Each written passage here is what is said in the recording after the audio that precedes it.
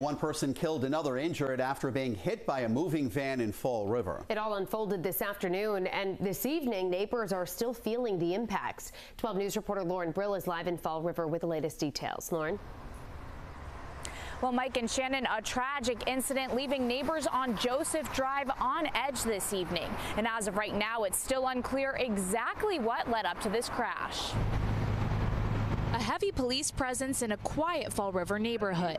Police say this crash took place around noon in this area of Joseph Drive. Officials tell us that one person did not survive the impact and the other was transported to a nearby trauma center for serious but non life threatening injuries.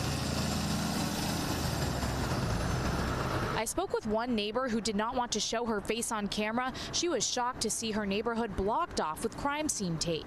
Wild to me. Uh, our neighborhood is very quiet, very peaceful. A hazmat team with a crane on scene as officers investigate, surveying the area around the van. The vehicle later towed from the scene. I've lived here for 20 years, never heard of anything like this. Never. Yeah, very alarming. This is sad. Now an investigation is underway, including Fall River and Massachusetts State Police.